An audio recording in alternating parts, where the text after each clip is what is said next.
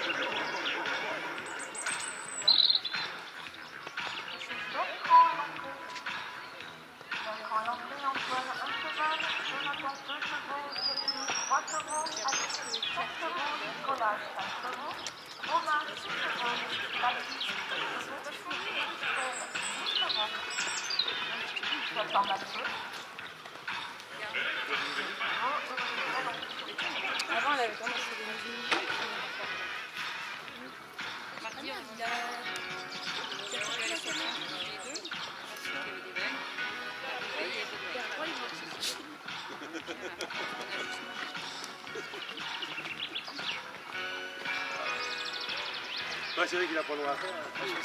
On mis.